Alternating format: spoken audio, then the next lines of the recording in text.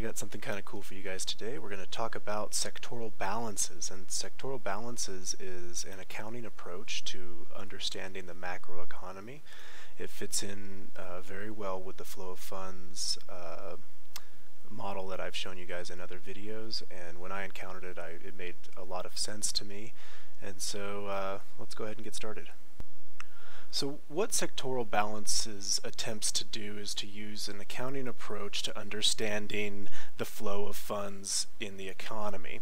And if you understand anything about accounting, you know that everything if you add up all of the transactions in the entire economy, it's going to net to zero. What sectoral balances is trying to do is to break down the net surplus and deficit of the major sectors in the economy. And so they have, uh, you know, they break it down to private sector. This is everything in households, companies, everything that is the private domestic sector. Then they have the government sector. And so, uh, you know, obviously that's government spending or government deficits. And then they have the foreign sector. And so what they're trying to do is break the, the economy down into these three major groups. So sectoral balances uh, essentially starts from a GDP formula, the expenditure approach, and they uh, switch a few things around to come up with this guy up here and each one of these represents a different sector of the economy. And what they're essentially identifying here is demand leakages. And what they're saying is you can essentially ignore consumption spending because that's, uh, you know, domestic consumption spending, th that's not a problem. That's going to be part of aggregate demand.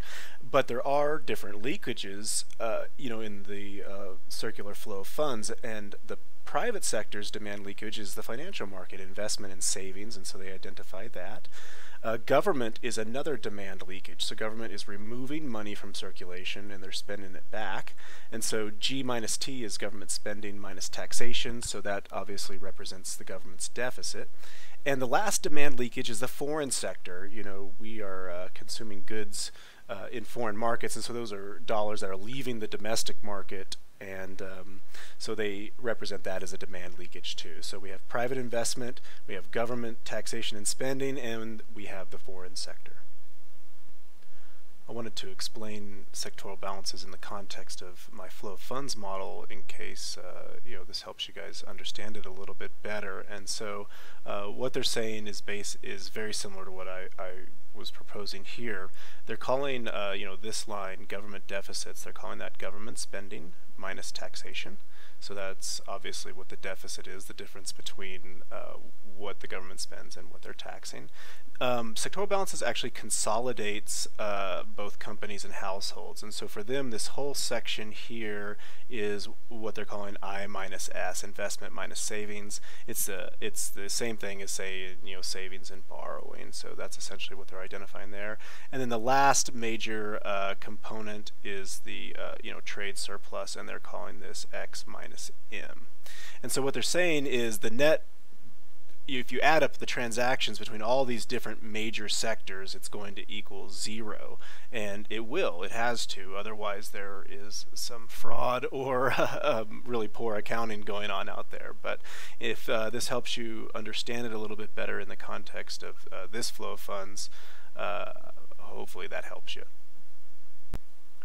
Okay, back to the sectoral balances. So why is sectoral balances such an important concept to understand? Well, um, let's take an obvious example. We know that uh, in the U.S. the government runs a deficit uh, nearly every year. I mean, in most developed countries, uh, governments run consistent deficits. I think that uh, the UK has been in deficit for like 400 years or something like that. But let's just uh, do some real simple numbers here to see what this means. So, if the, let's say that the government deficit is negative one, right? So this negative 1 has to be a surplus for somebody else. So let's say that there's no foreign market. We are only a domestic market, so this is going to be 0. That means that for the private sector, they have to run a 1 surplus because when you add up all of this, it has to net to 0, right? And so every time that the government runs a deficit, that means that the private sector is running a surplus, okay? So this very simple accounting identity can actually shed a lot of light on what government deficit really is. And so, you know, currently the government debt is 18 trillion. And we know by uh, this approach that that 18 trillion has to be a surplus for someone else. You know, it has to be a surplus either to the private sector or to the foreign sector. We know some of it is a surplus to the foreign sector. That's the uh, you know any foreign countries that own our treasury debt. That that part of that 18 trillion is their surplus. It's their dollar savings. But that that's kind of the interesting thing about it. You know, if if the government's running a deficit of 18 trillion, that means that somebody else is running a savings of 18 trillion And so a big part of private sector savings is part of the government deficit. And so you ask yourself, why do governments run uh, continuous deficits uh, of various sizes all throughout you know the last uh, few centuries? And the reason is is because that's a surplus to the private sector. That, that the government is paying more money to the private sector than they're taking out. And so people that say, you know, hey, let's pay down the national debt, um, what they're really saying is, hey, let's drain the savings from the private sector. Let's extract savings, risk-free savings, from the private sector, and uh, and pay off the national debt. I mean, it would it would totally destroy the economy. Let's see what the implications of this model is on running a uh, trade deficit or surplus. And so, let's say that you know, for the United States, we are running about a forty billion dollar a month uh, trade deficit. And so what that means is that the foreign sector is running a surplus of uh, $40 billion. And so that surplus has to come uh, from somewhere. If there were no government involved, then that surplus would have to come uh, straight from the private sector, from our households and our and our companies. Uh, go, you know, more dollars are traveling to overseas markets. However, if the government decides to issue Treasury securities and go into deficit by 40 billion, then that would mean that it was a uh, neutral, you know, that the private sector wouldn't have to run a wouldn't have to run a deficit. And this is kind of an important concept to understand because technically what you want, the, the absolute minimum that you'd want your government deficit to be would be, uh, you know, what your foreign trade deficit is. And so uh, if the U.S. Uh, government currently, if their if their deficit dropped below 40 billion per month, that would, by definition, put um, you know the private sector into a deficit and that's kind of an interesting concept and so if you want to maintain kind of a uh, you know the net assets, the net, the, you want to maintain the integrity of the private sector's balance sheet, essentially the government needs to run a deficit that is equal to the foreign trade deficit. Now, if you're in a country that runs a, uh, a trade surplus, you know, this would be a negative number, and uh, the government technically could uh, run a surplus against that uh, to pay down their debt without drastically affecting uh, the private sector.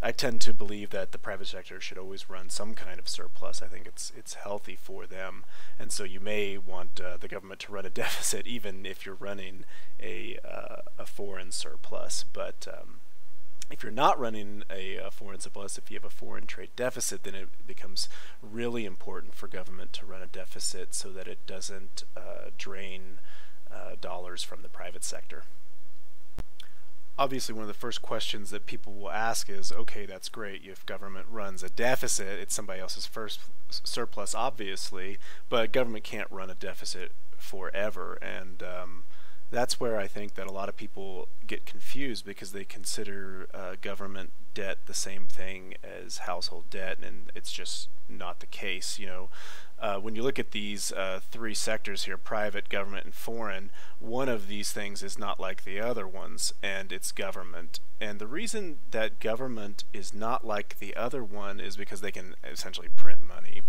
You know, so the government can never actually become insolvent in debt uh, denominated in its own currency. And so government is the only entity out of these three that can essentially run a deficit forever, and it doesn't necessarily impact their ability to um, to service that debt. Uh, there are some other dangers to government doing doing that, such as inflation. You know, if uh, if the service on the debt gets so large, and then there's some sort of credit boom, then very hard to cut back uh, deficit spending at that point because a large part of your budget is going to servicing the debt. But uh, in, in, any case, the government can sustain, has a lot more flexibility in sustaining deficits than the private or foreign sector. You know, anytime uh, a private uh, entity goes into debt, it has to pay that money back. It's getting purchasing power today, and then it's foregoing purchasing power in the future as it pays that debt off, it, which is why, you know, credit uh, expansions and contractions affect uh, the economy so much. But the government can essentially run, uh, you know, some sort of steady deficit uh, forever. There's, I mean, how how many dollars can you print? Infinity. So most of the opinions you hear out there from both the left and the right about uh, the national debt uh, robbing our future from our kids or that it's unsustainable, they really don't understand it because the government essentially can service any debt. It, it prints that money.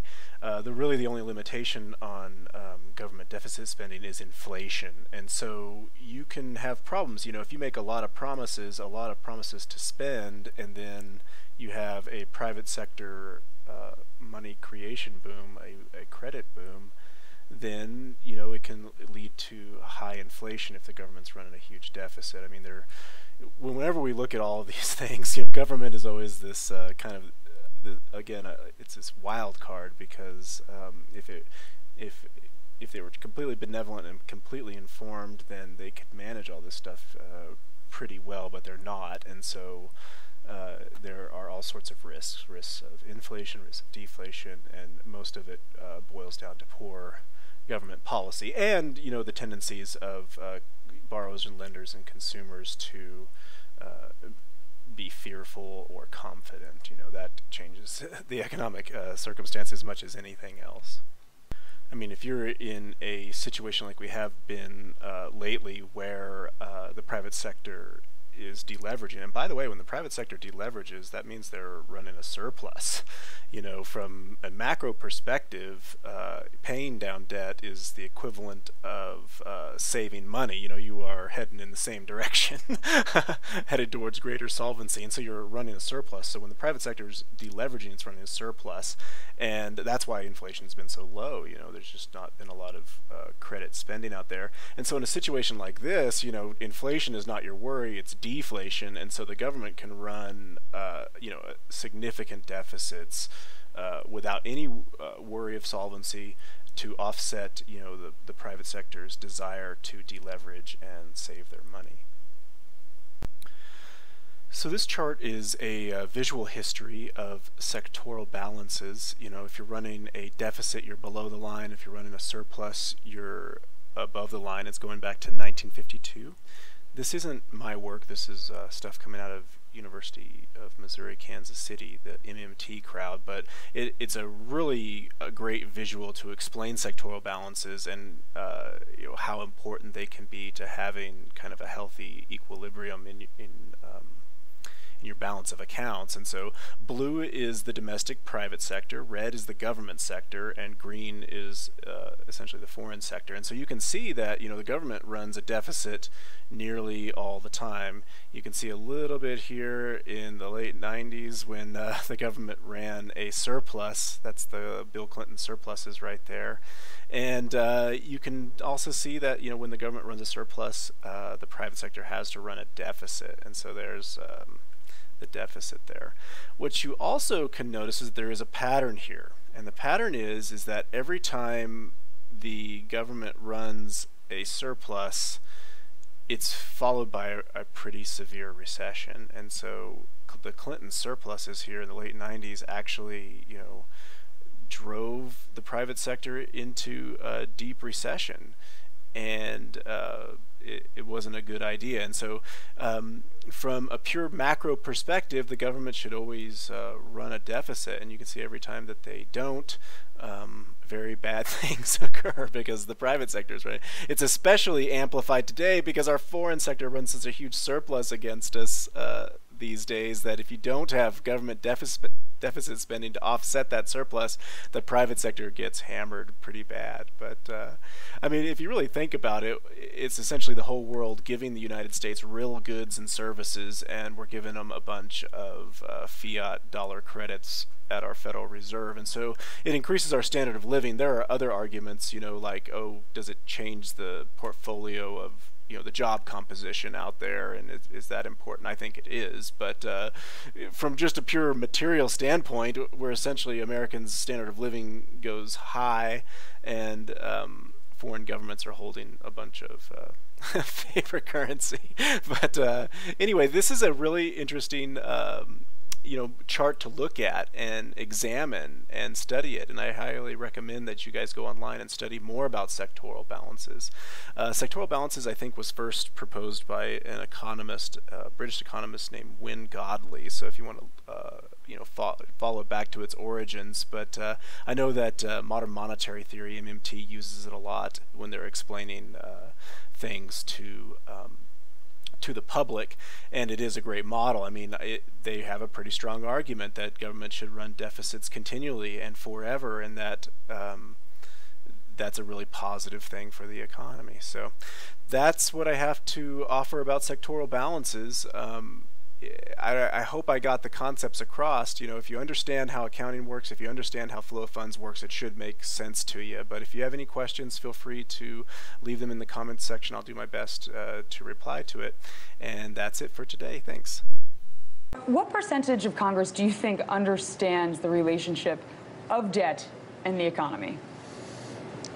If I got all of them off the record, I imagine I could find one or two. Really? I haven't tried it. You, you're deadpan serious on this? Yes. Okay.